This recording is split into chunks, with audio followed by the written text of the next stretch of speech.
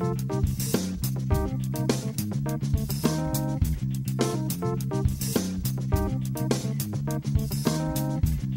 177 of the TV Dudes podcast, recorded March 29th, 2018. Murderers and Deplorables.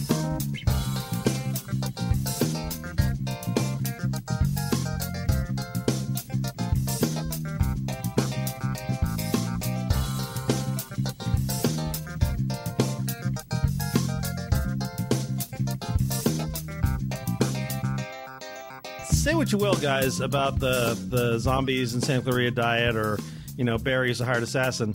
They didn't vote for Trump. I mean, this is something that we saw a, a very interesting tweet about this week.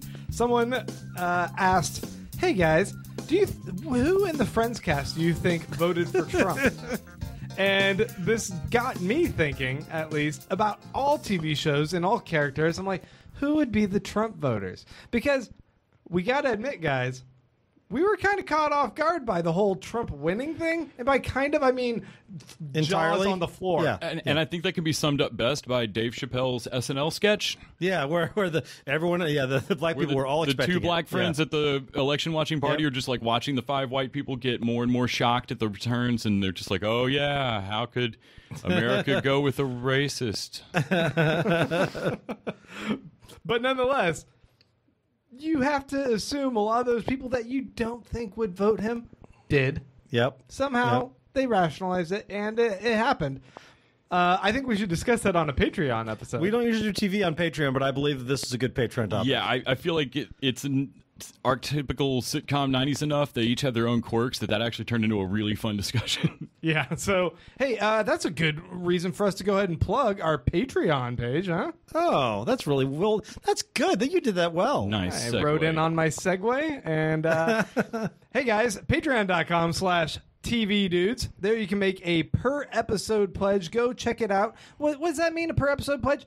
You give us a dollar or two because the only way we make money and fund this little show that we do is because of you guys. And you give us a, a couple bucks, and in exchange, we do these little mini episodes that are exclusive. They're just for you people that uh, are the ones who are helping support our show. Sometimes we learn the best superpower is being rich. Yeah. Sometimes uh, we talk about our fashion or lack thereof. Sometimes we discuss which Friends cast member is most racist. Yes. I, I would like to point out that uh, if you give us like a, a dollar an episode, what, what how many tacos would that be? That would be eight tacos a month. Eight Jack in the Box tacos. I was like, "What level of taco are we talking?" We're talking about Like, Jack, in the Box, like top tier, the best quality taco you can get in America. Jack in the Box tacos. Uh, the opinions of Grant do not represent the opinions of all the TV dudes. If you can forego eight of those tacos in a month, you guys can support us. I could forego so many Jack in the Box tacos. Oh man, send them my way. for less than the, for less than the cost of eight tacos a month. You, On the you can support quality taco. programming. Oh, did we introduce ourselves? Nope. We're all over the No. place. Hey, we're the TV dudes. I'm Grant. I'm Randy. I'm Les. And yeah, we're going to be talking about a bunch of shows that have murderers or deplorable people. Yep. Uh, that includes Roseanne, Silicon Valley, Barry. Both of those are on HBO. Mary Kills People and Santa Clarita Diet, season two. Yep. But before we get into all that, I already did the whole Patreon thing. But hey, another way you guys can support us? iTunes. Yeah, you can go there and uh, buy the new album from Beyonce, and that supports us, right? Uh, uh, well, they can give us a five star rating. Oh, Write a or that, or that. Is her new album even on iTunes? I don't know. It seems like it would be on some kind of private streaming network that only takes, Bitcoin. I don't know, Hova Coin or something. Yeah, so go to iTunes, find us, and write a little review, just like Alec42 did. Yeah. Buddy Alec, you wrote, started funny, stayed amazing. Oh, Five Oh, yeah. stars. These guys are absolutely hilarious and informative. They talk about 99% of the TV that I watch on TV and give their honest opinions without the need to pander to what their audience want them to say. I, I don't know if that's true. I think we do try to pander. I don't know. I think that's code for they don't talk about things I wish they'd talk about. Uh, they're friendly, geeky, and share great chemistry and inside jokes with each other. We're impenetrable. yep. Yep. Uh, I found these guys via spill.com, and now they've evolved into something inhumanely with great potential. We're inhuman. Oh, because you you have to review season two of Inhumans, dude. Damn it! Get ready for that. There's no season two coming. They're a chill group of men and women, woman, woman, and I really hope they continue this podcast for decades, nay, centuries to come. I see a problem with centuries, but I'm willing to give it a try. Yeah, but By the way, in honor of Brooklyn Nine Nine, I'd like to say, uh, started funny, stayed amazing. Name your sex tape. Well played, sir. Well played. no, I mean I could see us like re-sleeving and and you know keeping this going. Like Alter carbon style. Yeah. I don't know if that's what we want to use the technology for, but I guess. I mean, will will podcasts remain that relevant for that yes, long? podcasts will be around forever, just like buggy whips and, and AM radio. Fuck, really invested in this podcast studio here. we're gonna be really lucky if like even though Apple has nothing to do with it, the stack isn't called Pod something or Uh, eye personality. yes. Uh, all right, guys. Well, let's uh, let's move over and talk about some news, huh? Yeah, you're not going to talk about our network? Oh, uh, we are proud members of the Permanent Record Network. Permanent record. Network. And uh, yeah, you guys should just go check out all the shows. We um, are a network of primarily TV focused podcasts, and you can go listen to ones that talk about uh, obscure TV shows. Less. Yes, I did one called The Good Die Young. That's uh, in hiatus between uh, its first two seasons, and I this first season covered The Middleman, which was a decade ago one season show on ABC Family. That everyone should see and then listen to the podcast. Randy did a similar one season show about terriers. About Something dogs. About a dog. About dogs. Terriers. The show Terriers on FX, which is no longer streaming on Netflix. You got to buy it, just like Middleman. But Beach Cop Detectives. And uh, then you segue back to me. And Grant then did Grant uh, did- Star Trek one. right. Oh, and guess what? Star Trek never dies, guys. I chose the winner. Star Trek dies for decades at a time, sir. so uh, yeah, there's Star Trek podcast, and it actually got a thing called a second season. Yeah, Yeah, rub that's, that that's great. in your faces. That's great. All right, let's jump over to the news, guys. All right, so this is a story that ties directly into what we're going to be talking about. Uh, Roseanne premiered to the highest sitcom ratings in three years. So if you wanted to know what people wanted in sitcoms, they've been holding out for it. They've been waiting to watch. What they wanted was the point of view of a Trump supporter. You know, Tim Allen is going. What the fuck? Get my people on the phone now. Yeah. We're Right. coming back. like somewhere, Shatner's going. Shit, my dad says. Shit. Well, yeah, yeah. uh, I I don't know if this speaks to Roseanne nostalgia or I- That's a huge is- part of it. there's Roseanne nostalgia. I wonder if Netflix actually released its numbers on Fuller House where they did. oh yeah, that's true. Netflix doesn't release numbers. That's true. That's true. ABC But- does. Yeah, but that was another giant revival. yeah. But it beat out Will and Grace. We know that much. Oh yeah, I mean, That said, a huge part of this is both morbid curiosity Yeah. about watching the first. Like, where is it going to sustain? Yeah. Um, because there's And- been a bunch of news and they are hitting on one of the biggest topics. Yeah, yeah. Also, deplorables. they got back the whole cast. Yep. Like, I really can't believe uh, Sara Gilbert. is it Sara Gilbert. Yeah, Sara Gilbert. That's right. Um, that she and Laurie Metcalf and uh, the kid that played uh, uh, The kid. D uh, DJ? DJ, yeah, like he's back and actually looks normal for an adult. Like I, you really kind of wonder when child stars grow up, like how you know when they bring him back. Like, is this kid going to look like Haley Joel Osment? Like, you're not going to redo Sixth Sense and, and have that work the same uh, now. No, no. Poor Haley Joel Osment. I love he's him and stuff so now, great. but he's not what I thought he was going to No. grow up to. it's just his face didn't grow with the rest of his head. You know, I'll say this too. Prior to this being the highest sitcom rating, the prior highest sitcom was probably like Big Bang Theory or Two Broke Girls or something like that. So who really cares what's highest rated? I mean, yeah, I, I don't know. Fuck Roseanne. Yeah. Uh, but all right, so just to run down a quick list of things that if we're if you're mad at Laura Ingraham or whatever her, fuck her name is, Yeah, and uh, I am always. and, and Coulter or any Always. of these people. Yeah. Um, if if Louis C.K. doesn't have a show, like it, I mean, I realize he actually did a sexual assault. Uh, that's not the same, but um, Roseanne in real life just recently has attacked Parkland school kids. Yep. Uh, saying that they're fakes and they're crisis actors. She tweeted out a fake photo saying that David Hogg was given a Nazi salute, and calling him a Nazi. She said all the Jews should get out of UC Davis and it should be bombed. I think it was UC Davis. Um, she promoted Pizzagate, saying that Sessions would never prosecute Hillary for uh, the absolutely fake. They don't even have a basement in that fucking building. Stupid conspiracy theory. Like she's not just a terrible person; she's a terrible person that uses the largest megaphone she has to talk other people into being worse. And now she has a sitcom. and now they're they're trying to make her white plight in some way identifiable and like relatable and i'm like ugh I get the nostalgia. Like I like old school sitcoms now and then. Like just recently, Amazon Prime added uh, Cheers and like a, a bunch of other like sitcoms from that era. And every once in a while, I want that format. Like I'm doing shit around the house, and I don't want to pay attention to a, a mythology thing, and it's fun. And Roseanne, it is this. I mean, film as far as style of making it, it's exactly the same fucking show that they were making originally. Well we don't want to spoil how we actually felt about Yeah. the Oh, show we'll get to Roseanne. but before that, although we might have already. let's talk about Donald Glover uh, being thrown under the bus by FX. oh yeah what So this is weird. First of all, Atlanta is a big hit for FX. So Stephen Glover and Donald Glover are the ones who do Atlanta for FXX. It's a big show for them, and you'd think the last thing you want to do is is scotch that relationship in any way. Um, but they were working on an R-rated version of the Merc the Deadpool cartoon, and the basically FX said it was canceled and blamed creative differences. And then I guess the, the talk got to be that uh, he was that that Glover hadn't even started the script, but he was too busy. yeah they they tried to say that he didn't have time for it Yeah. Yeah. And then he tweeted, for the record, I wasn't too busy to work on Deadpool. And then he posted a script for the proposed finale of the show.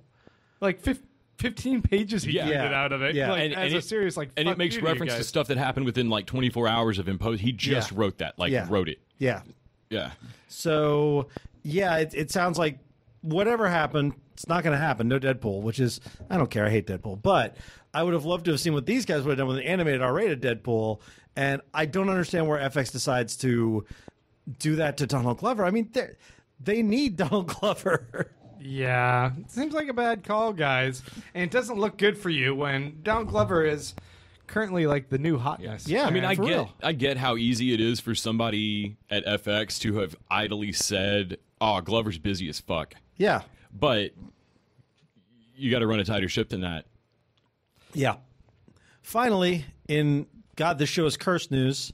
Locke and Key uh, is Joe Hill, Stephen King's son. It was his, it was his comic book project. It's very beloved in the comics.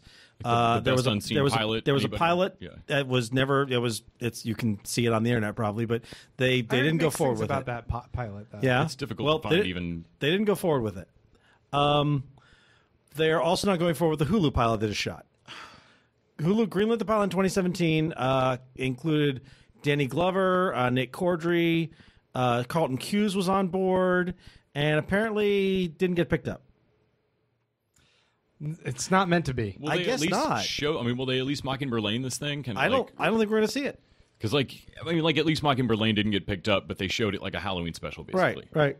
Right. I don't Yeah, know. I doubt it. They're there's apparently they say they're shopping it around to A- Apple, Amazon, and Netflix, which I didn't know you could do if Hulu had to make the pilot, but I don't know. I guess it depends on how you're. Yeah, maybe they still with Hulu kind of reads. outsource with the production company. Yeah, I mean, a lot like some stuff's on Hulu original, and some stuff's a Hulu original that already existed and they bought. yeah, yeah. Like Awesomeness TV makes Freakish. But yeah, it's it's it's too bad. Um, I I can imagine a good TV version of this show, but maybe they just can't make it. Oh well. Well, hey, let's take a quick break so we can come back and talk about how much we hated Roseanne.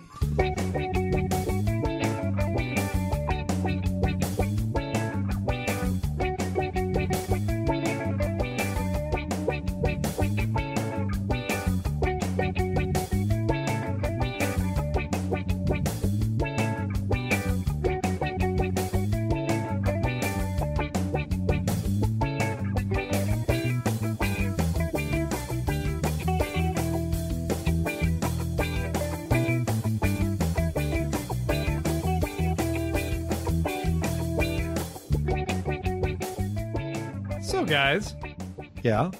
we may have mentioned this a little bit. We may have shown our hand a little bit too early, but uh, Roseanne is back, and it it was a pretty big feat for them to have assembled the full cast again, brought Honestly, them yeah. and uh, kudos to you guys. But I I I don't know. There's there's mixed reaction, and I see some people that are like, "Oh, that was like a, a pretty good show," and I'm like, "Did you see the same thing I saw?" so here's my question: As first of all, I did not watch it. I've never seen an episode of Roseanne in my life. No desire to watch it. Um, so all I will be saying is asking questions because last time I talked about a show I hadn't watched all the way through, I got a, a new asshole torn. well, Les and I, uh, Les brought up a great point. Yep. He said, "You know what?" We did this with our cartoon president, Yep. where we reviewed a show that we hadn't watched just because we hated the concept so much. Uh-huh. So we should actually sit down and watch it. I think you you and I both watched Yeah. the first two episodes. Yes, yeah, and I still defend the our cartoon president was a stupid joke made to the choir uh, that uh, that I found just offensive on its nose. Like Roseanne, at least announced itself trying to be a Trump supporter in a family, and how you deal with that a year and a half. You know, in, like that's Opening the conversation. that's a story that gap, I, right? am- I I don't know that I want to watch it on a sitcom, but that's a story that needs to start happening. And Roseanne's reputation from its previous not Roseanne the person, but the the show Roseanne, which nailing that distinction down early is going to get more important as we go in this discussion. Um, Roseanne the show's previous reputation was the show that might have been able to do that. Y- You know, th- they they do something kind of amusing in the very beginning. They they start the show with uh, Roseanne waking Dan up and saying, "Oh man, I thought you were dead," which is a great nod to how the show ended. Yeah. Yeah, I feel like they did some tight sitcom writing. Like for the show, like for the, the type of sitcom, it's just impossible for me to just watch it as a sitcom because it's giving platform to a person that is as abhorrent as Ann Coulter. Yeah, but the the the sort of behind the scenes meta uh, inside jokes that they were able to make. Yeah. Uh, the script that Roseanne, the character, had written, which basically ties in as well what whole that last lottery year episode and all that was. shit, Yeah, yeah. it's like, oh, she wrote a script, and that's what we were watching in that other final Yeah. season. Mm-hmm. Um, and then And gets how to they make a joke about it, like he should have killed off the main character. yeah, how they bring back uh uh what's her name? Sarah Sarah Chalk. Yeah, they have both Becky's in there, but like one is a different character who wants uh the other one to be her surrogate Yeah. mother. But I love they do a whole like it's look it's like looking in a mirror. Yeah, like yeah. yeah. you look like me before I put on makeup. Like So you know, seeing some of that dynamic, I'm like, okay, this is this is cute. It's pretty. It's handled pretty well. I think how they they have Laurie Metcalf's character spar off against Roseanne and have them both coming from the two ideological camps was somewhat interesting, except for that they couldn't have Laurie Metcalf's character like be genuine. She has to be the over the top kind of they do it and do it badly. Like I don't know if you get fucking points for that. Like Like Roseanne gets to um, preach her her stance on why she supports Trump, and in in some way like come across as like the rational hero with all the. And, I'm sorry I did it, but it was the adult thing to do, and we all had to. Listen, I know that you want health care But she for has to everybody talk down, because yeah. you have a w- good heart, but you just can't do math because you're an idiot. Right. Uh, like, and, and and that's the end of it. And and if if and we she were, doesn't have to apologize, and they they end with that note, and I'm like, she forgives Laurie Metcalf. Yeah. what am I supposed to take from this episode of of any gap being bridged here? Like you guys are showing Roseanne's perspective, but you're glossing over the terrible hypocrisy that's going on with the fact that she's able to support those views and yeah, she has a a I guess gender fluid grandson. She's got a a black granddaughter. Yeah. And Dan makes a couple of like, you know, you know, oh the the grandchild's exploring. Please let him explore his way to the boys' side of the target. Like Dan makes a couple of And I'm like, John old Goodman, funny grandparent jokes. Too? Yeah, but Roseanne Barr herself, uh, at one point I think supported Jill Stein, but she got in arguments online about uh, how trans women shouldn't be allowed in women's bathrooms.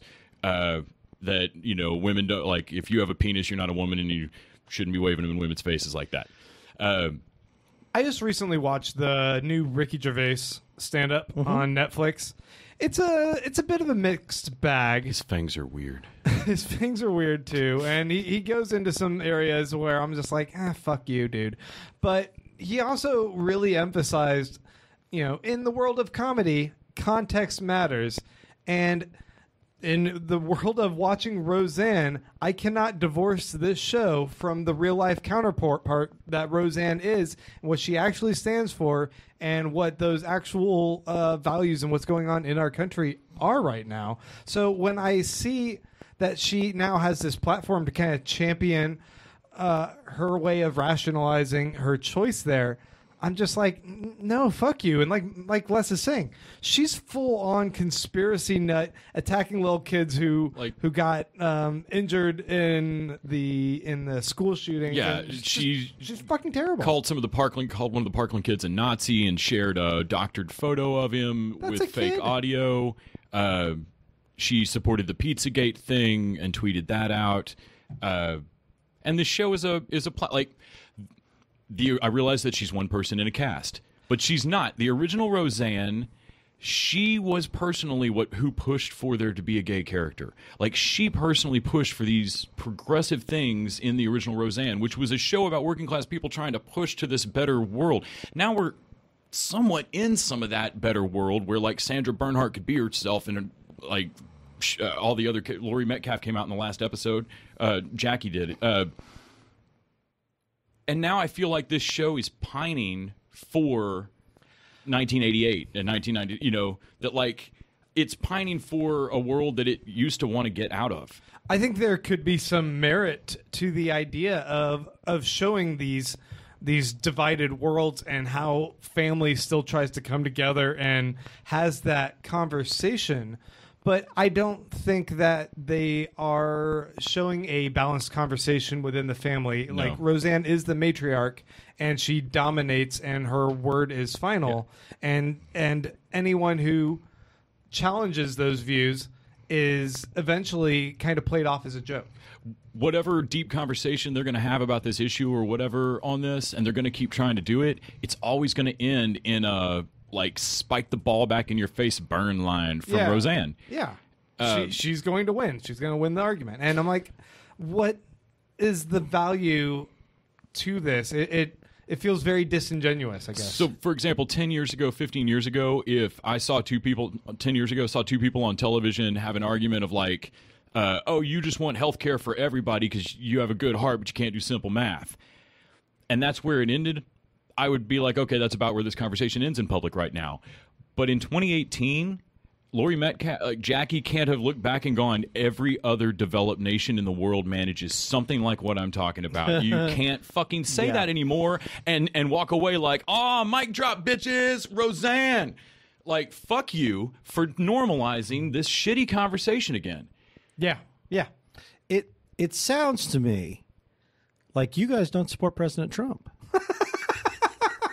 It's not that I don't support the president. It's that I do support immigrant rights and trans people and gay people and poor people. And uh, he doesn't. So it's just that our values aren't aligned, you know?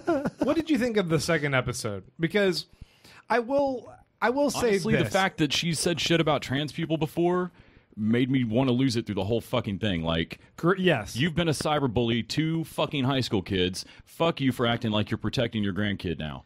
Yeah, that's bullshit. But I, I thought the idea of the characters themselves having those kind of older ideas about um, how how kids want to express their identity and really trying to cling to them hiding and, and, and keeping their head down and and just going with the flow to avoid being bullied versus you know proudly representing who Yeah. they are. I thought how uh, both Roseanne and John Goodman's characters like portrayed that. It felt a little bit more real, authentic, and and how that gradually moved to them coming to a better acceptance of the kid's identity versus the kid having to relinquish anything. I appreciated. Yeah. And I was like, okay, I from the trying to have the morality of the episode presented there, I appreciated how they developed that storyline. I still watch this show and I'm not laughing at anything, and I'm fucking tired of the multicam uh, sitcom. It's it's a dead format, and it it does nothing for me. I'm never I'm purposefully not amused by any scenes in the show because I hear an audience laughing. So again, eight out of ten. I haven't entirely been listening. I I will say, I Ida was it Ida Madison. Ira Madison. Ira Madison, Yeah. um, I, who I follow on Twitter, uh, posted a long thread about most of what I've just ranted in a long breath about Roseanne. Um, that nailed everything I felt about watching those episodes. And it ended with something that I took his advice on and and feel should be promoted more. Netflix has two seasons already of a sitcom revival called uh, One Day at a Time that is a uh, Cuban family or, or American family of Cuban descent. They've got the grandmother living with them, the mom, uh, daughter, and son. The daughter's, uh, I believe, across the first season comes out as gay. So you have old school culture issues dealing with, you know, a quinceanera for a gay girl. Uh, you know these kind like you have those kind of issues dealt with on a sitcom. The mom is trying to put herself through school while working a job, and she uh, just got back from a tour in Afghanistan. Like it, and it's the multicam sitcom format, uh, old school laugh track type sitcom. So if if you're covering yourself saying, "Well, I'm just watching Roseanne because you know I really like that sitcom format," um, you can watch a different sitcom that doesn't support uh, somebody that's tweeted out Pizzagate and trolls high school kids, and Roseanne shouldn't have a fucking job on television. If we're holding all these other people's feet to the fire for being terrible people in 2018, our president excluded, um, then Roseanne fits that bill. She should be held account- accountable too. She does not deserve to have one of the highest grossing How does it- sitcoms nowadays. How is ABC back? You know what would be hysterical to me? I brought this up to Grant earlier. What would be hysterical to me is if they Valerie Bertinelli this. That was about money, and so of course it happened. And this is about ethics. You'll have to so explain the Valerie. It's- I know, I know, I will. So once upon a time, there was a show called Valerie, and it starred a woman called Valerie Bertinelli and Yep. her whole family. And Valerie, in between season one and two, uh, Miss Bertinelli asked for what was probably just a reasonable increase towards pay equity with like the lowest level male cast member. But the network tragic. slapped her the fuck down. She assumed she had the clout to do it because you know her name was the name of the show. Yep. Uh, And like, why wouldn't she right? assume that? Yep. So season two of Valerie is called the Hogan Family. they killed her off camera between seasons. I think it would be fucking hysterical if Roseanne died between seasons And it's just called the Connors. and it's just called the Connor Family, and they continue it on. That honestly would be hysterical. Or because it's Roseanne, they could also recast her a la Becky and no one notice. Oh my god, they'd be amazing. Who who would be the best uh, super liberal person to cast? as Annabella her- Sciorra. no, uh, Get uh, what's her name? Uh, Melissa McCarthy in there. she can toggle between uh, Roseanne and Sean Spicer. uh, all right, guys. Well, let's jump over to some shows over on HBO that uh, probably will make us a little less angry. First up, uh, Silicon Valley is back for Yep. its is this fifth or sixth season? fifth. Fifth season. Yep. And I love it, and I love it even more because uh, T.J. Miller's not even there. Yeah, you know it's funny. I, I there was a long period there where I liked T.J. Miller, and I found out how terrible he was, and that that was not acting. So his exit from the show started actually right before the sexual. Yeah. Uh, Yeah, all of a He was, sudden. yeah, Yeah. yeah, he just left because he was a shitty person. Nobody wanted to work with him. yeah. I- Well, and, and I've heard, I mean I've heard that he's difficult on set. Um, I well actually I guess we'll probably release this interview next week or something. But I, I just got to interview uh, Jimmy O Yang that plays uh, Jian-Yang on the show. Yeah. And uh, and read his book and uh, and he doesn't speak ill of Miller, but No, who knows? no, yeah, I wouldn't imagine he would publicly. That that'd be crazy. Yeah, I- yeah. I mean, I I think that it's undeniable that T.J. Miller was is extremely talented. He's funny. Yeah, He's got yeah. great voice and comedic timing. The guy knows how to riff effortlessly. Yeah. But he's also apparently a huge pain in the ass. He wouldn't show up to time on time to set, and uh, was difficult to work with. And you know, then he also had some personal life problems, and so I, I feel like he acted as a foil who was unnecessary at a certain point because it proved that the rest of the cast was a foil enough to themselves. and Yeah. Part of his season four plot line was flailing. Like was Yeah. like that was that was like literally what he was doing was not knowing where he fit, right? Yeah, yeah. Um, you know, I I've been reading some of the interviews behind the scenes about this show, and what we get to see here is that the show, the the the, the group, the Pied Piper gang, are finally gaining success, and they're able to start growing their business because it's it's getting real, and we also see that Richard Hendricks is suddenly not suddenly but he's starting to a little bit come into his own as a ceo and recognize how the game is played mm-hmm. and be able to start making some moves that seem smart that seemed ballsy and actually able to exert some degree of force which he was not that character at all in the first in the previous season. And yet he's still Richard, which means he still uses the Force when he shouldn't. Yeah, he's still got this emotional overreach. Like he still spikes the ball when he shouldn't. Yeah. Like, Yeah. You know, it, Silicon Valley is like the anti Entourage. Entourage was a bunch of dude bros succeeding despite everything going. They're doing everything wrong. They succeeded despite the world being against, despite the world, uh, despite how bad they were at everything. Uh, Silicon Valley is about very smart people. Who should in no way succeed? Who should should they have everything stacked against them? They're bad at this job, and and they managed to pull it out. Yeah. which Very- I'd rather see that. Very earnest, very smart people, Yeah. almost getting in their own way. Yeah, But uh, I, I guess that was sort of my point. What I was reading about uh, with you know what, what's the dude's name uh, that created the show? Uh, Mike Judge? J- Mike Judge. Yep. Uh, Is that you? At a certain point, if you're going to keep going for this many seasons in a show, you can't just keep it the joke that they're always going to lose. no, no. Eventually, they have to start winning. Yeah. And I'm glad that it seems they're going in that direction finally because I'm like, these guys can't just keep being their own worst enemy and tripping over themselves, or uh, or at, or at a certain point, I don't even want to watch them and root for them. But anymore. they've they've always been moving forward. It's just that they there's every time there comes up with a challenge, they tackle it in the most awkward way possible. Ultimately, they they they will come through stronger because they are smart people and they do have the talent. I mean, we have been shown that Dinesh and uh, Gilfoyle are both extremely skilled coders. Like they may have personality disorders, but they're both supposed to be very good at their jobs. And the same is true of Richard. Richard is not he's not an idiot. He's socially maladjusted, but he is very good at coding and he's very good at sort of his ideas. Yeah. He, so they they have skills, but their personalities cause the run into those skills. And I think that that balance is what makes Silicon Valley work. Like I don't want them to become the next Google or anything. I like them kind of struggling, but they struggle forward. They don't keep they don't keep falling back to the same status quo.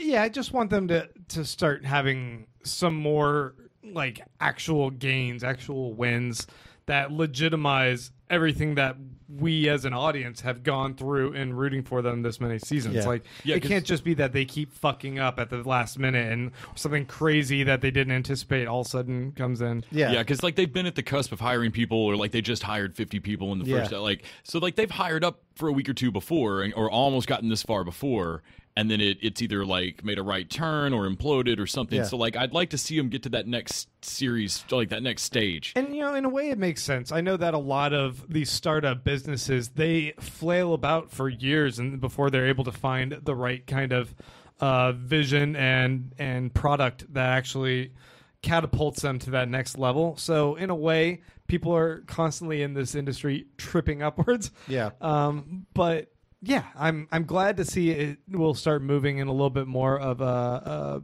winning direction. Well, my favorite thing about this this episode was the runner about uh, Richard and the pizza guy, because we see him, he meets him, line. and he hates that guy.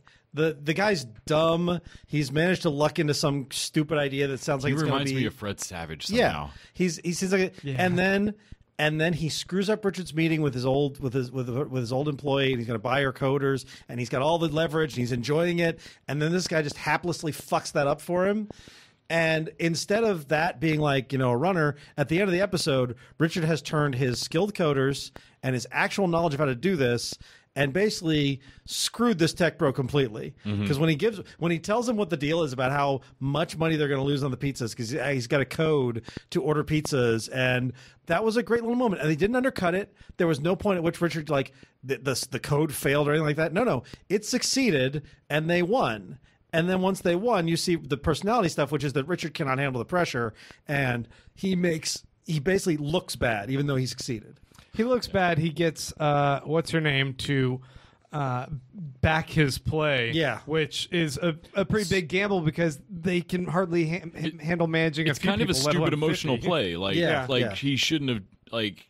You wanted vengeance. This is Yeah. stupid. You Yeah. But there, I, I mean, I, I see the business aspect as well because you know he's going head to head against uh, the Hooli dude who's uh, like sabotaging his every move, and so he needed to do something to gain. One thing. I did love, I I absolutely did not want to watch a season where Hooli tried to build a competing product exactly Right. the same again. Like, Yeah. I just didn't want to watch like, oh, Hooli's going to get into the distributed internet business Mm-hmm. and they're going to go head to head. So I really loved the moment where like, yeah, Gavin fucks him on the coders, but then he's like, oh no no, that's the one thing you can't work on here. Yeah, he's like Like he's literally any other thing you think of, Yeah. Him but not that. him finding out what the numbers were for Box 2.0 and how he has to build That's the thing. great. I love Gavin as a villain, but I also love that Gavin gets to be miserable all the time too. Like Gavin never gets what he wants. Yeah, yeah, that he looks utterly unhappy. Like Russ Hanneman's constantly losing, but at least looks like somewhat Yeah. pleased with himself. Yeah, very pleased with himself. Oh man, I, I want to see more Russ Hanneman this season. also, too.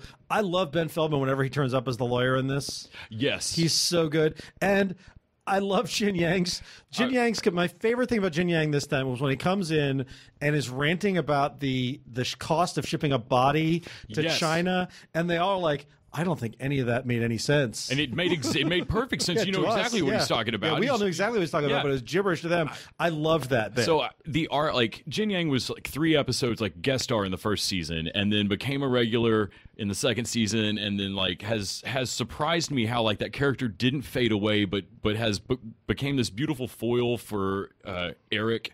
yeah, yeah, he like purposely fucks his name up all the time. Yep. Um, and I like in this in the newest episode, I think he says like, you know, do you think Erlich would like those guys uh, staying here? Like, no. That's why I invited Yes, them. yes. This would piss him off. I like. I hate him. I don't know hate how you him. don't understand. Yeah, I, hate I love guy. that. that basically, like Jian-Yang is arced into like a villain almost. Yeah. 'Cause He, he tells him like, "Oh no, no, you guys are all part of the previous administration."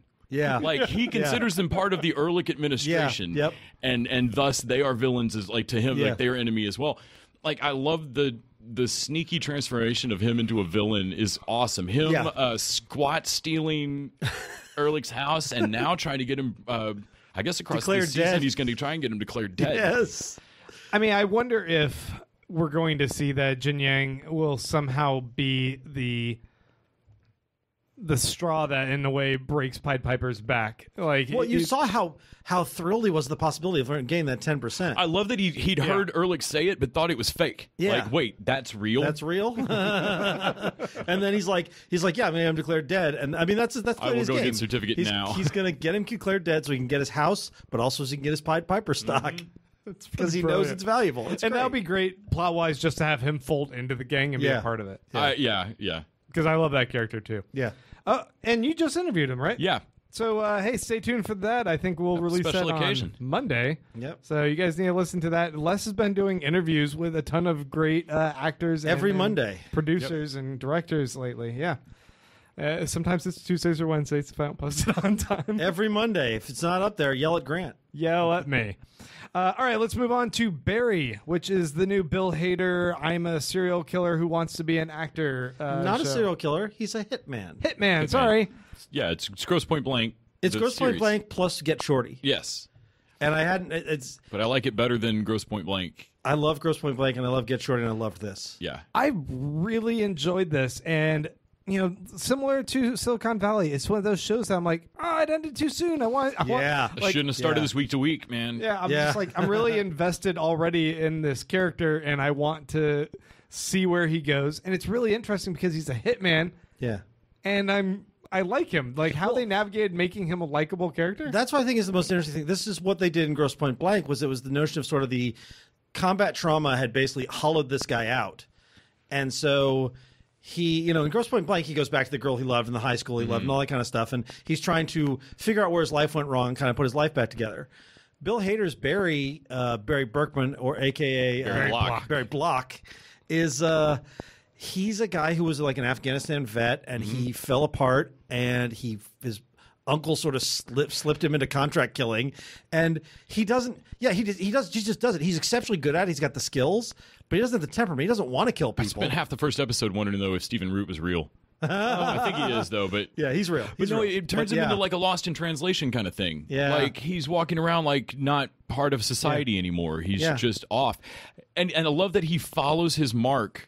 Yeah. To like like his partner in the acting class is he really likes the doofus. Like yeah.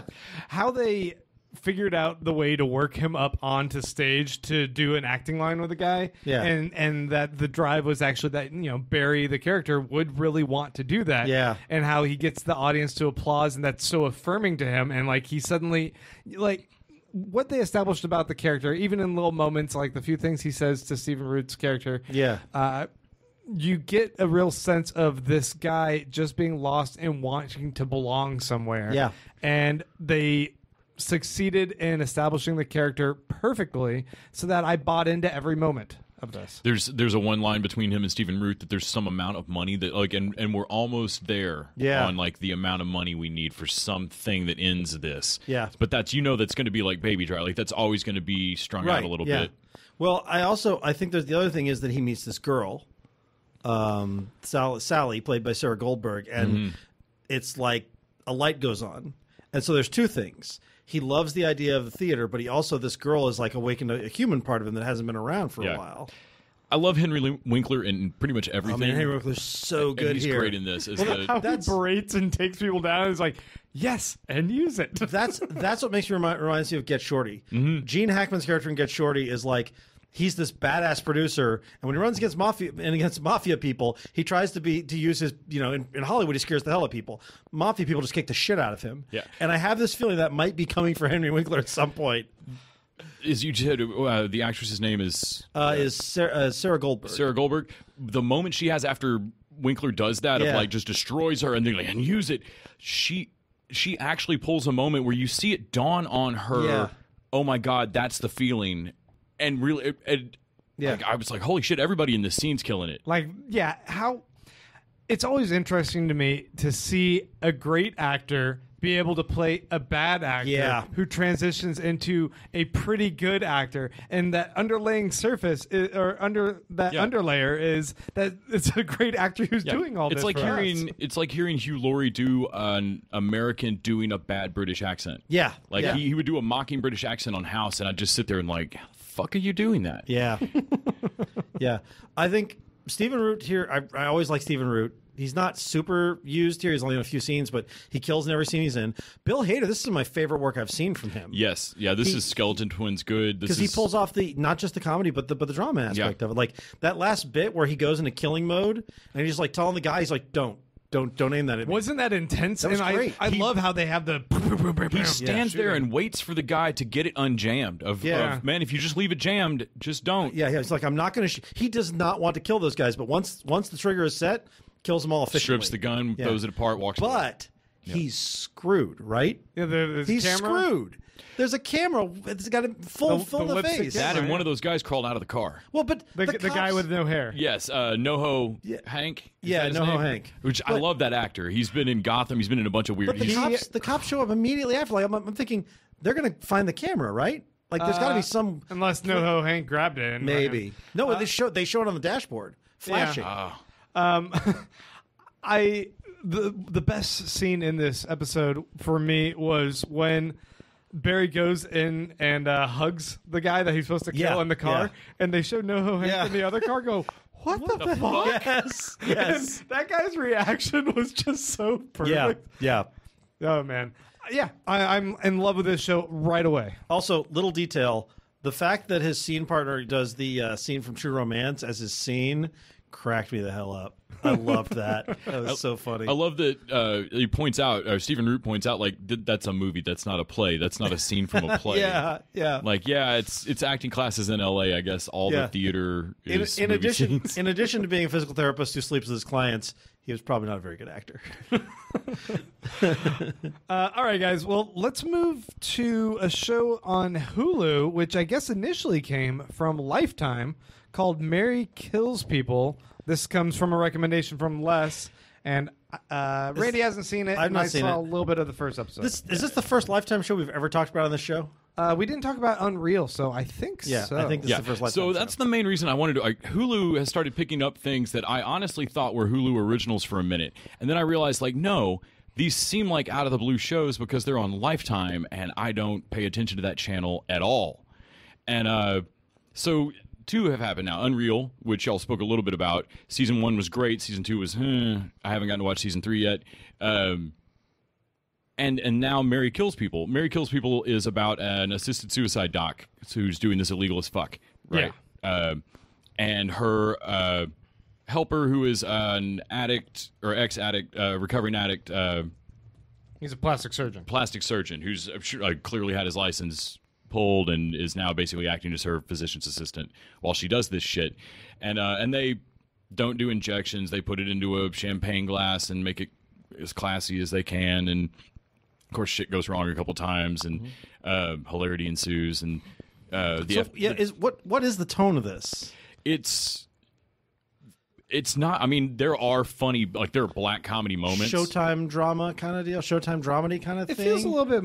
At first, it felt a little bit like uh, Burn Notice to me. No, it's a little like- closer to Shameless, I think, than Okay, Burn Notice. Like, right. it's got some funny moments. Like, they have to get the fuck out of a house from the second story, bef- like while a wife's coming in. With The the, initial tone, I was like, like- "Oh, is this like kind of like a little bit of an action, like murder on the go thing?" But then, yeah, it didn't. but then, like, uh, her kid has uh, has some problems at school, and like has a girlfriend that's a little wild, and, and finds her mom's stash of drugs. Like, they have a whole subplot where like she could get really screwed over by this kid getting hurt if something were to happen with these stolen drugs, and like, so it, it starts to get into some like it's a more serious tone than Shut Eye. I feel like okay. um, but it it could easily be uh, up there with like Shut Eye or Good Behavior or something like that, or I mean not Good Be- uh, Good Girls or something like that. Like Okay. it, it feels like of that class, and I just didn't expect it from Lifetime at all. the yeah, the caliber here of show is pretty impressive. Especially, I mean, you hear Lifetime and you go, "Oh, I I, I know what the tone of Lifetime is." No, And that plastic surgeon could be Karl Urban's fucking stunt double. Like uh, the, when I first saw him, like Karl Urban's not in this show, right? Jay Ryan Yeah. is the actor's name, and uh, the the lead uh, actress is Caroline Dhavernas. She's Mary, uh, who kills. That's actually what got my attention because Caroline Dhavernas was in Hannibal and of course uh, pushing She not does- pushing daisies. Um, uh, Wonderful. Wonder Yeah, and I she love does her. a great job. That's Yeah. where I've seen her. She, yeah, Yeah. she does a great job here. I was really, I, I'm looking forward to watching some more of it. Uh, I just Hulu's got it now, and I really wouldn't have paid attention to Lifetime, but clearly they are making some original content show wise that I should uh, keep an eye out for. Yeah, yeah. Uh, okay, and our last show that we're going to talk about over on Netflix, season two of Santa Clarita Diet. Yep. Uh, Drew Barrymore and uh, Josh Duhamel. oh, Tim Olyphant. I know. Yes. They look the same. no, they don't. One's don't. taller and lankier. That's it. I did not realize how much taller Joel McHale was than Tim Olyphant. What is he really? Uh, Oh, Joel yeah. McHale's Yeah. a, a monster. Yeah. Like Tim Olyphant seems like a big deal, like Bullock from Deadwood, right? And like no, T- Joel McHale towers over him. Like Olyphant's six one and McHale's like six four. Oh man. Um, so season one of this, you watched all of season one, right, Grant? I did. Did you like it? I can't remember where you I were. I did like it. I don't recall like being in love with it. Like at least to the point where I felt there was a drive to want to watch the second season right away. I remember liking it, but I think what I thought of it most was was that it was interesting and had potential. And I feel like season two realized that potential. I thought season two was notably better than season one. I, I feel like it cat like I binged season. I mean, it's Netflix. Sure. I binged season one in in like a quick pull, and Yeah. and I feel like it was very light confectiony. Like when season two dropped, I found I had to go back. The recap didn't do it. I had to go back and rewatch the last Really? episode of season one because it it was just so funny and light and fluffy and, Yeah. and like I laughed hard at season one, but it didn't stick with me. I couldn't have told you a fucking thing about it. All I remember was it was a cliffhanger. I remember thinking that was not an ending. I forgot about throwing up the red ball thing. I Yeah. forgot about like so many weird like their zombies are weird. Yeah. Um, so my main complaint with season one was that the mythology stuff with Portia de Rossi, that's all so fast at the end. It's like the last two episodes at the end. Like boom. entirely. And then she's out, like she's there and Yeah. gone. Yeah. And I remember, and then this, then the season's over, and I, I remember when season one ended, going, "No, you just started talking about the mythology of this show, Yeah. and it's done." Yeah. And season two was a little better about that, but it's still. I guess you could. The show left me wanting more. That's a positive thing, Yeah. but it still felt abrupt. Of like, our. I guess that's a fair place to end it. But Yeah, it it does feel like the the stories the stories rapid fire. Yeah. Uh, the thing I liked about it, I watched all of it in one day. Like I, I really enjoyed it. I think it. I watched it across two Um, days. But I loved the uh, like the zombie girlfriend. Like I thought she was fun, and then she was gone.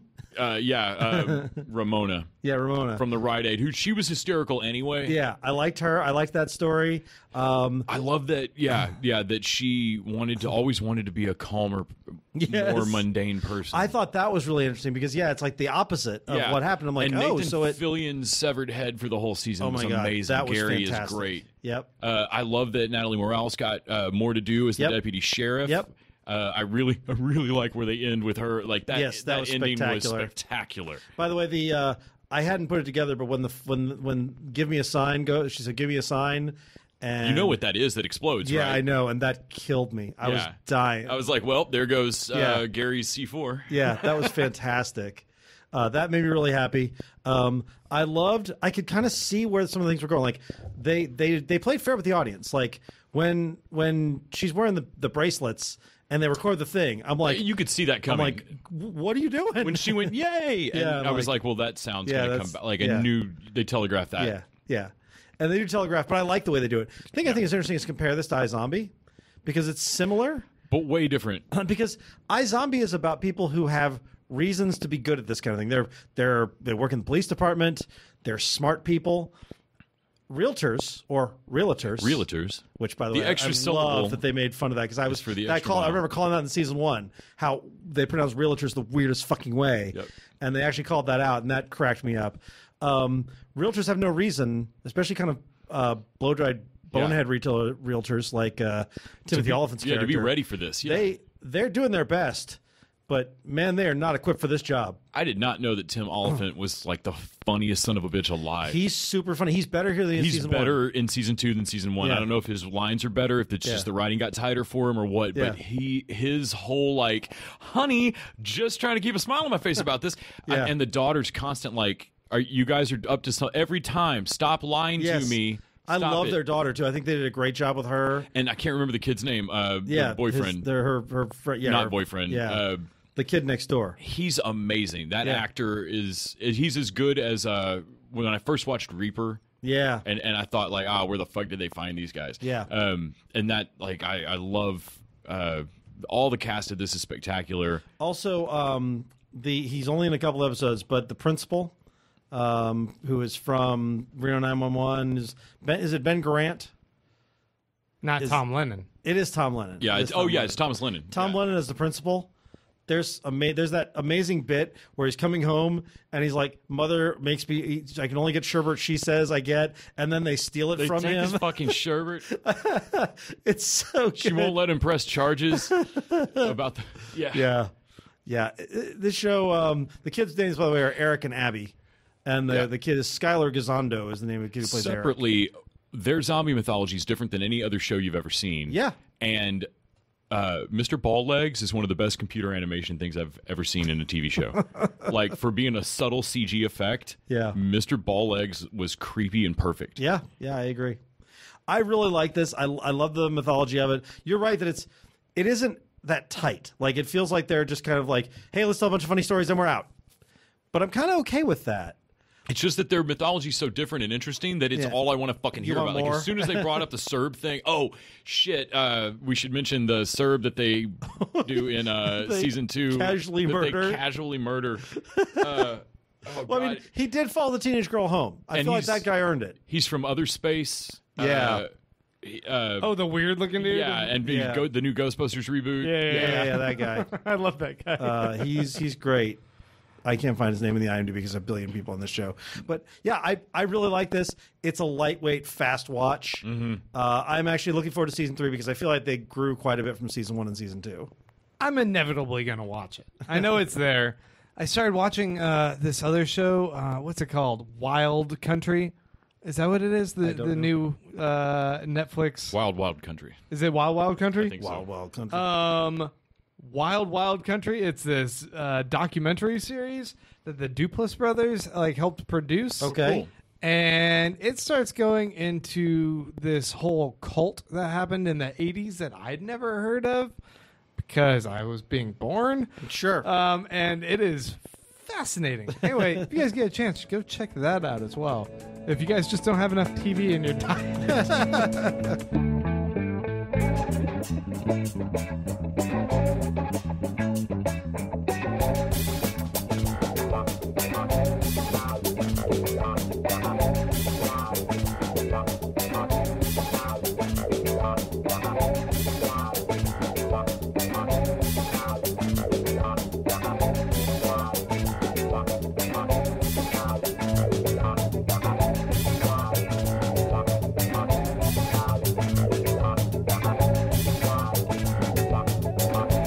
time, guys.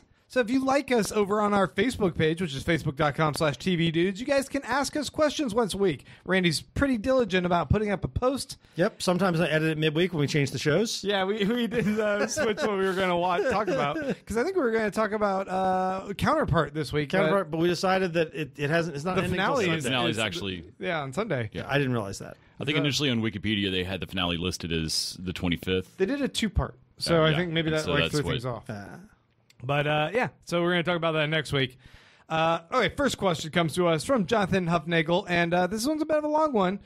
Uh, he says, "Dear TV dudes, uh, so this question this week is a pinch longer, but it speaks from the heart. Last week, a listener question led to a mention of the final episode of *Halt and Catch Fire*, an episode you alluded to hit me very personally because it echoed a very real experience I lived through." The entire episode portrayed a very painful task of sorting through the possessions of a deceased loved one. The forming of the keep, giveaway, and trash pile, how everyone involved barely clings to strength while every instinct is to run away and cry, and the possibility that any moment you may find something precious that strips away that strength, suddenly making you break down. A few years back, I lost my father, age 59. It was very sudden and unexpected due to a seizure. We had a good connection despite my father being a quiet man who had trouble expressing his emotions. This only meant that my memories I do have are very few and precious, and the 20 years I felt robbed of may not have given me many more. This episode brought me back to a very painful moment, and I had to pause and take a break before I was able to return to finish it. Six years ago, I gifted my father a chrome Zippo lighter and engraved something very corny. Thanks for being a wonderful dad. With love from John. I'd completely forgotten about this until I stumbled upon it sorting through the property. It was an eerie epitaph that broke me. I couldn't continue and I had to retreat back to another house we stayed in. Later, my mother pointed out to me that he must have cherished the gift, even if it was not. He wasn't very good at expressing himself. It was well polished and kept, but had some wear showing he used it often. My question this week is simple When does art imitate life? A bit too close for comfort. I could talk about moments in fiction that have various results in making me cry or not, but really what I'm asking is deeper. What times have these moments been eerily similar to an, an experience and possibly forced you to pause and take a break to regain yourself before being able to continue on with an episode? Um, the Also, The- thank you, Jonathan, for sharing that. story yeah. with us. So there's two for me. I, I don't tend to connect deep that deeply with TV. Like I connect in all. I, I get emotionally involved with the characters, but I don't tend to connect my own life experiences to TV in general so deep. So I, I can watch or get through just about anything. Nothing traumatizes me or or, or gives me that, that that feeling of having to stop. But uh, having had someone very close to me attempt suicide this year, um, seeing the crazy ex-girlfriend episode where she decides to try to kill herself was a little too real for what I thought was a light and funny comedy. Uh, and that one was I almost had to stop watching that show. Yeah, um, that and Thirteen Reasons Why having having Yeah. had depression issues and had uh, stuff like that personally um, was those were really difficult. Uh, it doesn't come up on television very much. It happens in movies, but uh, heroin use, Yeah. um, really any serious addiction issues. Um, there's show there's shows that uh, like intervention and stuff like that. I won't fucking watch. Like Yeah. that just that is so horrible. It's so personally horrible to me. Yeah. Um, so that, but luckily that just doesn't come up on television too terribly often. The *Halt and Catch Fire* episode uh, a couple years ago, I my best friend died, and I went through all of his belongings with his dad, and it was fucking horrible. Yeah. Uh, and so like that *Halt and Catch Fire* thing, I that was really painful to watch. The other one for me was, was Breaking Bad. Uh, toward the end, when he was administering his own chemo, uh, that was I was still doing chemo, and that was the most horrible thing I could imagine. So it wasn't that it put me out of the show, but it drew me into the show because I had been through all of that, and so every time they did their their chemo and their treatment and and the way that all goes, and every visit with a doctor in Breaking Bad was some of the best I've ever seen. It was so true to life. It was so uh, so much how it was that it didn't it didn't kick me out of the show. It actually had the opposite effect of drawing me in more, but it definitely made it a hard watch at times. Uh, I mean, I've mentioned this before, and I don't know if this like is as directly personal, but now that I have kids, I find that anytime there's a plot, a particular plot that has kids getting harmed, has parents losing children, um, eh, threats to kids, especially like particularly young kids, I just freeze up. I like I I can't handle watching it. You know, and not not that like I was like some I was just like gleeful to watch this Right, before, yeah, but like yeah. it never like really affected me. I'm like, oh, kids dying and stuff. Yeah, it's fiction, whatever. Um, but now I'm just like, uh, I can't process it. I can't handle it. So Yeah. I usually just have to stop. Yeah, yeah. I've had another friend of mine tell me that that after they had kids, that suddenly like movies that didn't used to stand out on their radar now are like, what the fuck? Because there's a there's a like child kidnapping or or ki- like harm plot. Yeah, it's like this weird emotional trigger. Like I have no control over. Yeah, I'm like, like "Ah, I didn't care about he- this movie before, and now like. Why does that bug me so much? But I guess I'm internalizing it. Uh, next question comes to us from Jonathan Haptemichael, who says, "Hi, dudes. Since Santa Clarita Diet has been a fun comedy with a horror twist, what are your pitches for your dream sitcoms featuring Randy's favorite werewolves? you can include other creatures, but the lead character has to be a w- werewolf. Okay, well then I guess he doesn't get to hear my uh, "How I Met Your Cre- Creature from the Black Lagoon" pitch. Can you make the lead character a werewolf? No, the lead character. Okay, yeah, the lead character is a werewolf who meets the creature from Black Lagoon. There you That's go. it. Okay. And he he's he's telling a story in the old folks' home for for monsters, and so he's telling various monsters. Uh, every episode, how he met the creature from Black Lagoon, and none of the others think that char- that character's real. So there, he's telling a story about uh, how the creature from Black Lagoon, who he met, uh, how wonderful he was, what a witty uh, date he was, uh, how he was accomplished underwater concert pianist. All these stories, and it always ends with whatever monster telling him that that shit ain't real. I figure they broke up because of the wet hair smell, right? Yeah, yeah.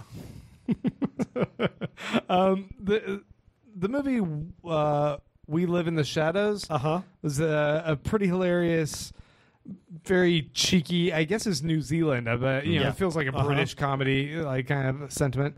And it's by Taika Wa- Waititi, who also just did the Thor Ragnarok, and he's making another one called We Are Wolves with Rhys Darby, who was part of the werewolf gang there. Yeah, Werewolves. And Werewolves, not werewolves. Werewolves, not swearwolves. yeah, we're wolves. We're wolves. Yes. Werewolves.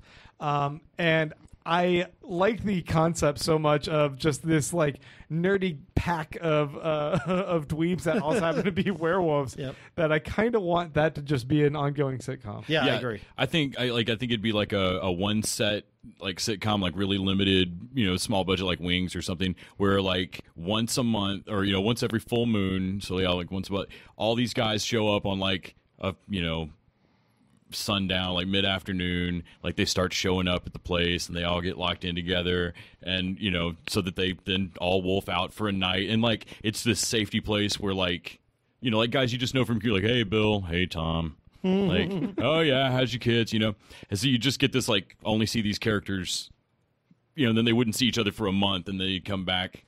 It's just like the mundane parts of their lives when they're not werewolves. but we know they have this crazy werewolf fuck party going And like on. at the end of the episode, like they all wolf out, and like that's it. I also have an idea for a Queer Eye reboot, that, but instead of being Queer Eye, they're werewolves, and instead of uh, making their uh, their hosts fashionable, uh, they make them wolves.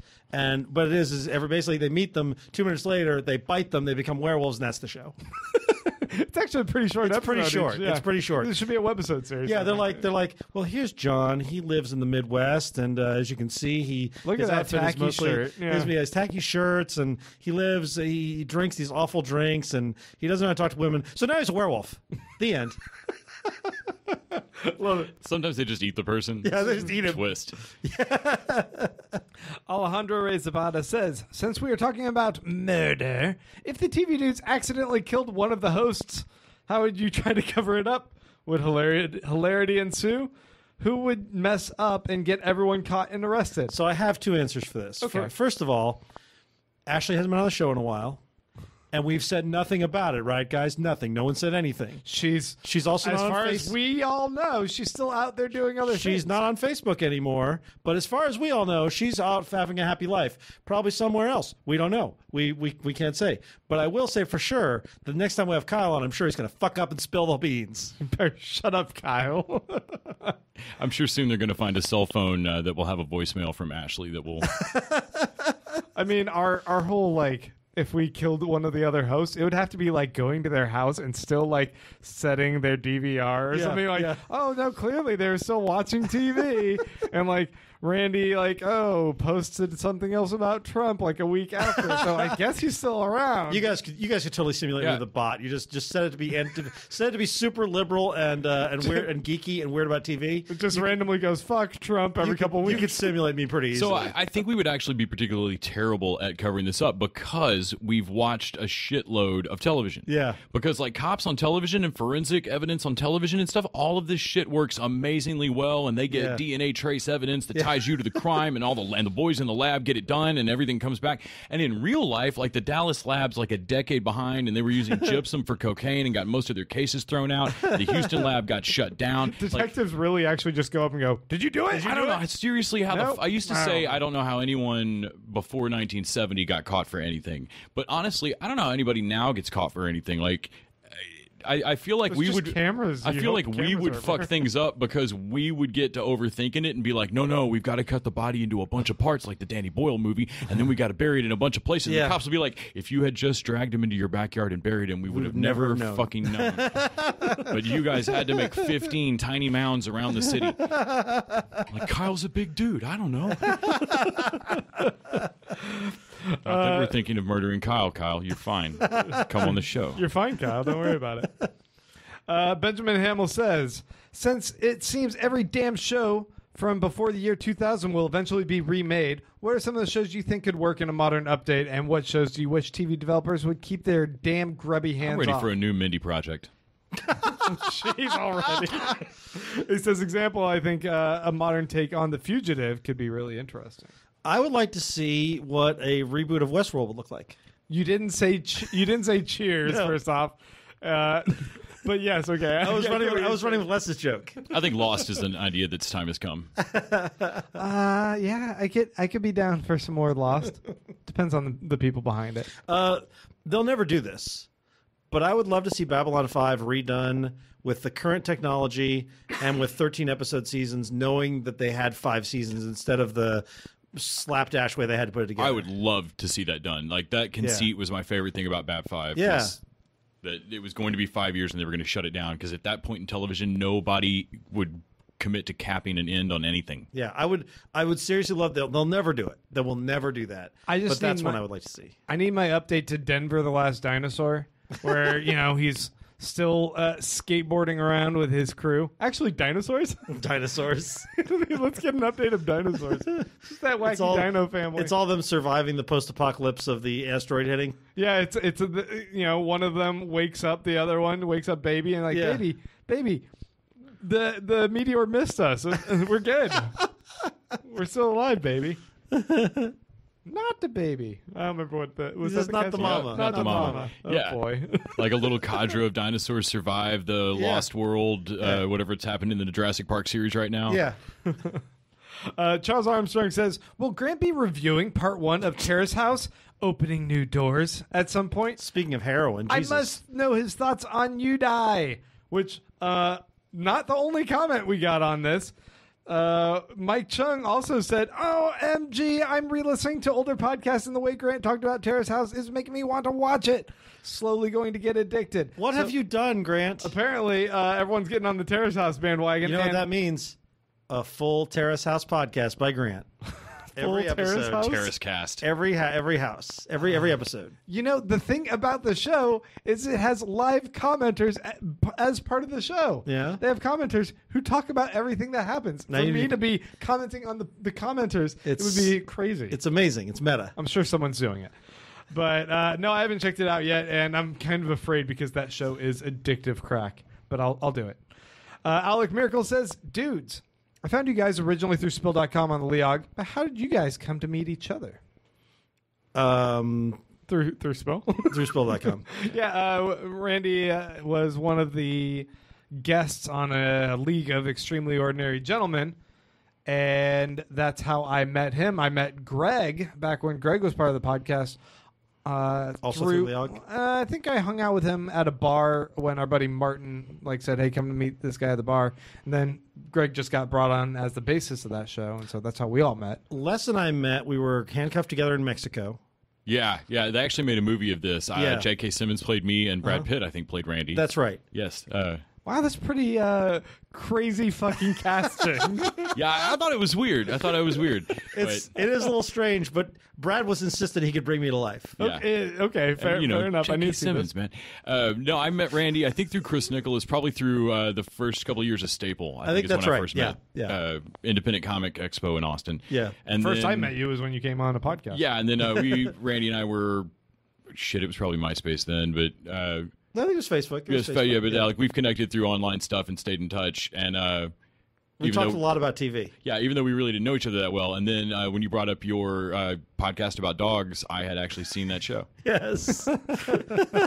and so I ended up doing a couple of the episodes for uh, Beach Cop Detectives, Yep. and then guested because I guess Greg had just left.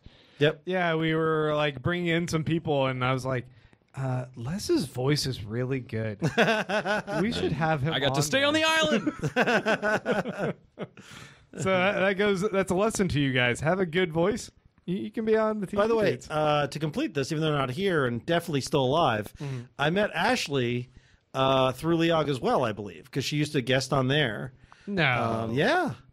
Did yeah, she? she was she was part, or at least part of the one of us dot, dot net crew. She's part of the One of Us crew. I though maybe the what's that's where I met her from, but I met her through the same people. yeah, because you met her and you like should come over and play like your Randy plays games. Yeah, show. yeah. Well, I met her at the Halloween party that was that was the Leog Halloween party at one point. That's the first uh, time I met her. Oh yeah, but Yeah. I, I don't know if she was ever on Leog. I don't recall. She might not have been, but she she knew all those guys, and that's where I met her originally. It was quite a drunken time for me. Yeah. So I don't remember a lot about that.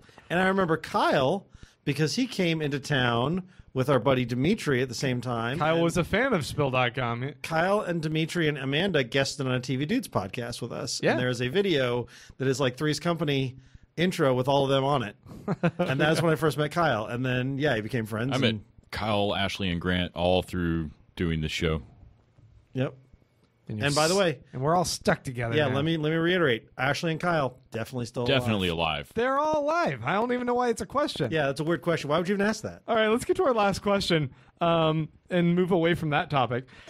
Michael Gassini says, between all the streaming services, it feels like we are getting nearly three whole seasons of TV dropped on us every Friday. Yes, it does. I agree with that. And if if uh, you're dealing with Randy, you're required by is why- homework to watch all of it. Yeah, and this is why you don't have to make time for Roseanne. really don't. That's right. It's come to a point where it doesn't matter how many people have seen it. A true success now seems to be measured by how long people talk about it after it's been released. With all the content to choose from, what do you dudes think are the most important factors for a show to get public attention and staying power, and not simply remain the talk of the week or worse? That is a really excellent question. I don't know what it is about that makes say Stranger Things have such sticking power that everybody still talks about it regardless of when it's on or not. It, it that one played on all of our nostalgia, and Yeah. It, I mean that one is transcendent. yeah. so so like the the OJ thing was very well done. Yeah. But was also like weirdly taught like deliciously gossipy. Yeah. Like and so it, it was it was perfect water cooler type fare. But I think a lot of these shows that are talk of the week, uh, it's just because they they hit upon a topical issue or they they just happen to premiere at the right moment or they get a lot of hype behind it you know the a star fucked up or did something um the ones that stay are like Stranger Things, where they've got to, they're not just hitting on one note, they're hitting on like four or five, and everybody's doing great jobs at it. Like, you may think Stranger Things is derivative 80s pablum, and it is, but it's incredibly well done 80s pablum. i i if a show can make you think about it longer than uh, a couple days, I think that also matters. I mean, Yeah. I'll binge through a show and I'll be like, "Huh, that was really good," and then like an hour later, I- I'm not even thinking about it. Yeah. Yeah. But I love like Good yeah. Place, I can't stop thinking about. like it. I love Santa Clar- Clarita Diet, and I Yeah. I plowed through it in no time. But it's it's kind of candy fluff, and Yeah. and I forget about it really quick. Yeah, next week I won't be thinking about it at all. Whereas like Mindhunter kind of stuck with me, Yeah. or uh, yeah, yeah, some of these other shows like kind of getting in your head, and pacing has a lot to do with that. Mm-hmm. Whether something's bingeable, Handmaid's Tale was coming out week to week, but it was fucking with me. Yeah. um, yeah. Well, like there's even shows that are like that I really, like. I love Un- Unbreakable Kimmy Schmidt, mm-hmm. but once it's over, I don't think about it again. It just disappears out of my mind. The nice thing about this, though, that streaming is that shows don't have to be all like water cooler talk. You watch people discover. I watch people discover Future Man in waves. Yeah. Like like someone someone would talk about it, they're like this is the most amazing show ever, and we talked about it three weeks ago. And I have a friend who just discovered Sense Eight. Yeah. And she's like, "This is the best show ever." And I'm like, "Yes, it is. It's amazing." I was up on it, but you know, anyone discovering a show, you can find these shows. Like people are going to discover Altered Carbon all throughout this year. Yeah, I have a harder and harder time with anything being water cooler talk because uh, there's almost if it's going to be like that, there's this weird pressure when Netflix drops a show on a Friday that if somebody's going to talk about it on Monday, do I need to finish the goddamn thing? Yeah. and that's it, crazy. Like there's too many shows. But like Mary Kills People and is on season two already. Unreal is on season three. Yeah. Uh, I just discovered another Hulu original that's actually I think from Awesomeness TV. It's freakish. Yeah. Uh, that's a bunch of kids trapped in a high school when there's a mutant zombie-ish thing that happens, and uh, it's completely done. There's two seasons of it. I didn't know. I mean, I kind of half-assed knew it existed. There's so much TV right now that I love discovering this stuff later, but it makes the water coolerness of it almost fucking impossible. Yeah, that's true. And then there's Roseanne. Don't watch Roseanne, Why bother? guys. Yeah. Uh, Just watch fucking- one day at a time instead. Seriously, it's great.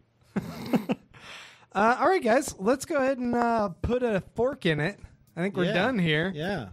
We can kill this episode. Deader than Dan. You know what? This episode, very much alive. Very much alive. Very much alive. Nothing is. No one is killed. Nothing is dead. And if the cops talk to you, that's what you tell them. TV dudes out.